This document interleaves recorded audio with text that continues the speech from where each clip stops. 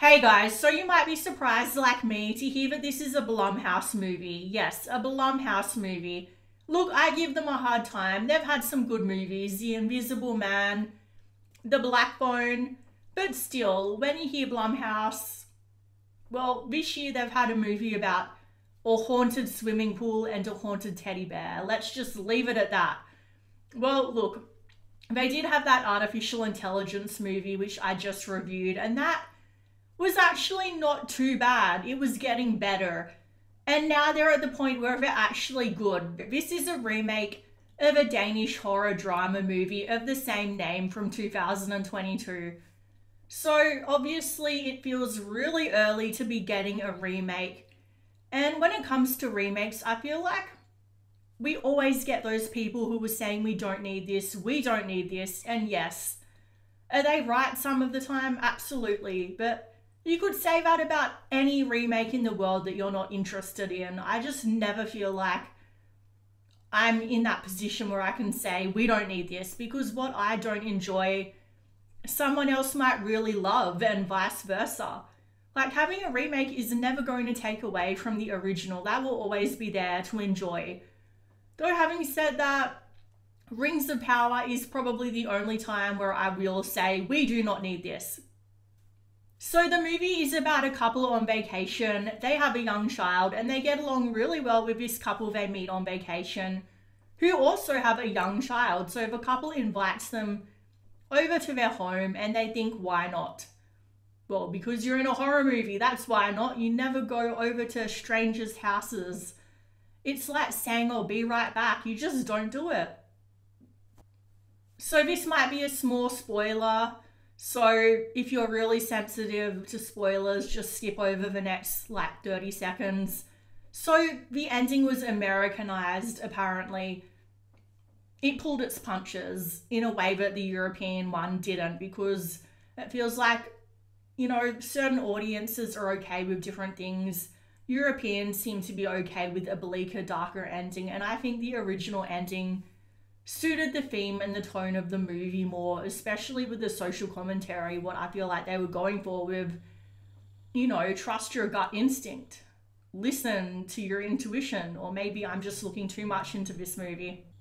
So I feel like this movie was inspired by Funny Games, which is another really originally bleak European movie that got remade into an American version, which is all about the same theme of be careful with trusting strangers. And I feel like it had a very Scandinavian mentality, even though that was, I think, an Austrian movie. And this is a Danish one. Well, that's technically not Scandinavia, but you know, it's the same sort of region. And I feel like they have that mentality of extreme politeness and trying not to cause drama or awkwardness to the point where they're willing to put themselves in danger. And that's not just for Scandinavians, you know, that could be for any group of people, but especially I feel like in those European types of areas, I feel like that was the inspiration in a way for this. But once again, maybe I'm looking too deep.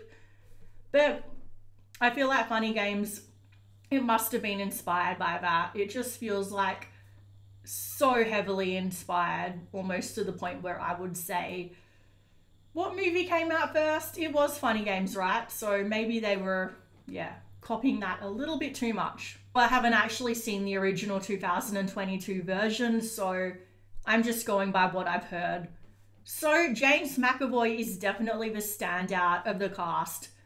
I feel like the guy can go from seeming like a genuinely nice guy to terrifying and so scary so quickly.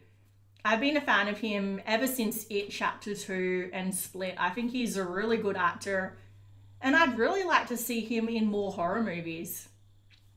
So, his wife is played by an actress whose name I can't remember, but I know she was on that BBC TV show The Fall with Jamie Dornan, and she was good on that, and she's good here. I feel like her and James McAvoy can both do that sort of nice and creepy thing. Him so much more than her, but still, like with both of them, it feels like they can be really superficially charming for small amounts of time. But then you start to unpeel the layers and you see their mask kind of slip as the movie goes on. And you're just waiting, especially for James McAvoy's character, to lose it completely. And when he finally does, it's so good. The payoff is definitely worth it. So the other couple, I feel like, are people that I wouldn't want to know in real life, but they're entertaining to watch, which I guess you could say about all the people in this movie. I wouldn't want to know either couple, but I feel like they're just really pretentious. The wife is overbearing. The husband is a timid, stupid doormat. I know I'm sounding harsh, but he just infuriated me in this movie, and they make so many dumb decisions. It feels like if there were a horror award for most stupid couple, they would, okay, probably not win it, but almost be like second or third place, definitely. For example, there was this moment where they know that the gig is up. The killers know that the other couple know that they're killers at this point, but they haven't really acknowledged it. It's not actually out in the open yet, but everybody knows so James McAvoy's character has this really shaky ladder and he's asking the other man to climb up it. And he's still saying at this point, like, oh, okay, trying to play along, thinking that somehow that will help him. And I get that that's what he's trying to do, keep the peace. But like I said earlier, you know, it's that mentality, keep the peace. And he should be fighting at the, that point and you're saying to yourself, there's no possible way of a man can be that stupid that he climbs up the ladder.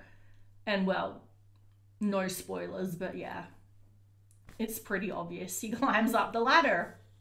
And that's just one of the many, many things this couple do that are so, so stupid. Like, you have a kid, you need to prioritize their safety, not being polite. Anyway, look, the score was good. It was very fitting.